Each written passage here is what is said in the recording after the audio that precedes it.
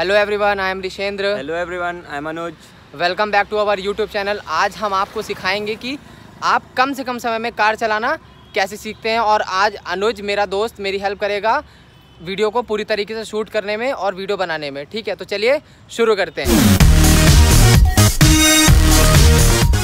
Guys सबसे पहले मैं आपको एक बात बता दूँ कि कार चलाने से पहले कुछ चीज़ें आपको माइंड में रखनी होगी। For example it's not example ये रियलिटी है कि आप जहाँ कहीं भी कार चलाने की प्रैक्टिस कर रहे हैं फ़र्स्ट ऑफ़ ऑल वो जो प्लेस होनी चाहिए, वो बिल्कुल खाली होनी चाहिए। अगर वो प्लेस अगर खाली नहीं भी है तो आप ये इंश्योर कर लें कि वहाँ पर ज़्यादा पब्लिक ना हो, ज़्यादा वहाँ पर व्हीकल्स का अप एंड डाउन ना हो।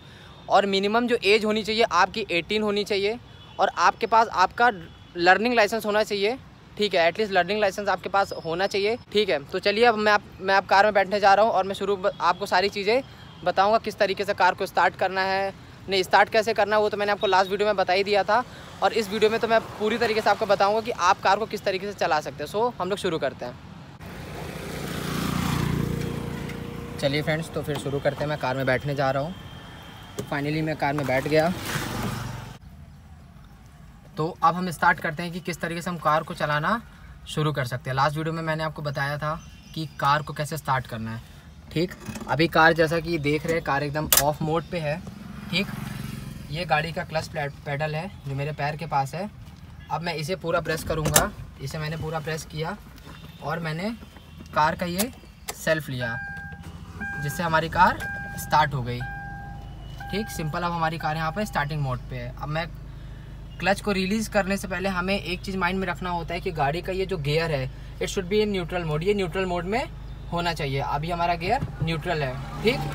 तो मैं से क्लच को छोड़ सकता हूँ, ठीक? और कार को चलाने से पहले ये सीट बेल्ट है, ठीक? ये मैंने सीट बेल्ट ली और इसको मैंने इस नोज़ल के अंदर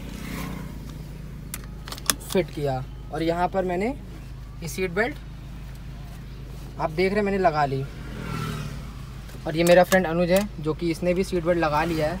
ठीक है, और मेरे पास खुद का ड्राइविंग लाइसेंस है और मैं तकरीबन चार साल से गाड़ी चला रहा हूँ। तो मैं आपको सिखा सकता हूँ कि किस तरीके से बैगनर गाड़ी चलाना सीख सकते हैं। तो चलिए शुरू करते हैं। अभी गाड़ी स्टार्ट है, आप देख रहे हैं।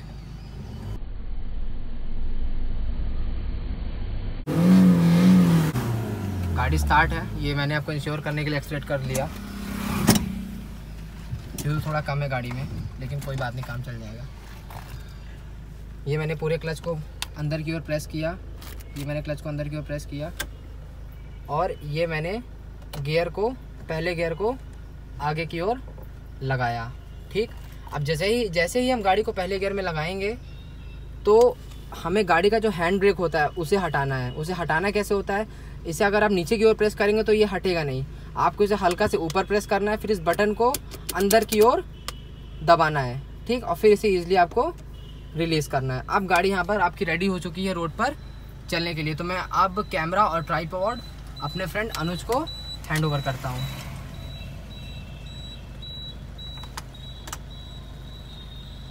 अब गाड़ी का मैंने यहाँ पर पहला गियर लगा दिया और मैं यहाँ पर बिल्कुल भी एक्सलेटर का यूज़ नहीं करूँगा। आप देख पा रहे हो, ये यहाँ पर गाड़ी का, ये गाड़ी का एक्सलेटर है जो मैं प्रेस कर रहा हूँ। इसका मैं यूज़ बिल्कुल नहीं करूँगा क्योंकि मैं क्लच पे ही गाड़ी चलाऊँगा और अगर आप नई गाड़ी चलाना सीख रहे हैं तो बिल्कुल आप गाड़ी को क्लच पे ही चलाएँ। तुमको हैंड ब्रेक के बारे में लास्ट में बताना चाहिए पता है? चलिए अब हम यहाँ पर शुरू करते हैं किस तरीके से हम कार चलाते हैं। अभी मैं धीरे धीरे क्लच को छोड़ रहा हूँ और ये गाड़ी यहाँ पर बढ़ना शुरू हो गई है। आप देख सकते हैं यहाँ पर गाड़ी धीमे धीमे चल रही है। और बारिश भी हल्की हल्की हो रही है, आप मिरर पे देख सकते हैं।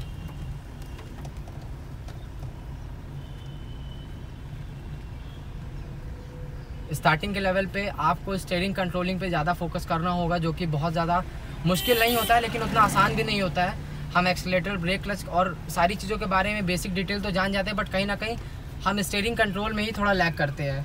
तो स्टेयरिंग कंट्रोल के लिए आपके पास सबसे बेस्ट ऑप्शन ये है कि जब भी आपको समय मिले मॉर्निंग या नाइट टाइम नाइट टाइम ना प्रीफर करें। अगर आपको मॉर्निंग टाइम आप जल्दी उठ सकते हैं तो आप बिल्कुल जल्दी उठिए और गाड़ी को रोड पे ले जाइए। रोड पे इन द सेंस ऐसी जगह पर ले जाइए जहाँ पर लोग कम आते जाते हो, ठीक है? और गाड़ी में लर्निंग ज़रूर मेंशन कर लीजिए, जिससे कि आने, आगे, आने और पीछे जाने वालों को पता हो कि गाड़ी कोई ऐसा पर्सन चला रहा है जो कि अभी लर्निंग मोड पे है। तो वो अवेयर होकर के थोड़ा आपको ओवरटेक करेगा चीज़ों का ध्यान रखेगा, ठीक? यहाँ पर गाड़ी अभी फ़र्स्ट गियर पे इजी सी चल रही है। अभी स्टेयरिंग एकदम सीधा है तो गाड़ी सीधी चल रही है। ठीक है? अब मैंने क्लच को दबाया और यहाँ पर मैं गाड़ी के दूसरे गियर को सेम पोजीशन में पीछे शिफ्ट किया। तो गाड़ी यहाँ पर मेरी सेकंड गियर पे आ गई है।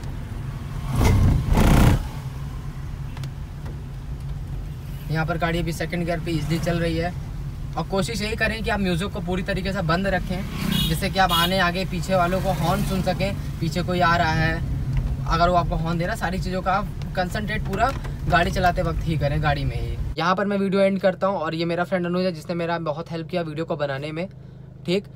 अगर आपको वीडियो अच्छा लगा सो प्लीज़ सब्सक्राइब करिए चैनल को वीडियो को लाइक करिए और ज़्यादा से ज़्यादा लोगों को शेयर करिए। और अगर आपको कार ड्राइविंग से रिगार्डिंग कोई भी क्वेरी या कुछ भी इश्यूज़ है तो प्लीज़ आप कमेंट सेक्शन में मुझसे आप पूछ सकते हैं।